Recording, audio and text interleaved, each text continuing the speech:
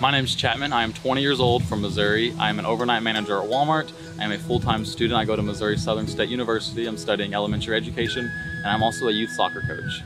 So my charity I chose this year is Save the Children. Save the Children is a organization that um, pretty much gives children who didn't have a good start to life. They give them food, water, shelter, um, anything they need that they weren't necessarily given in life, so they didn't have a lucky start to life and it was something that didn't have a huge meaning to me until I started coaching soccer and now I deal with kids and it breaks my heart to think that some of those kids could have a bad home life and that's why I chose this charity so that I could at least help out in as much as I could.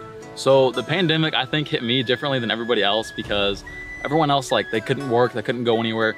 I work at Walmart. Walmart was one of the only places that stayed open. So I had to work more hours than I used to. I worked 60 hours a week at that point. I was a manager. We had tons of customers because it was the only store that was open. So um, I didn't really get that break when the pandemic hit. I know the pandemic was rough for a lot of people, but for me, I wanted to make the most out of it.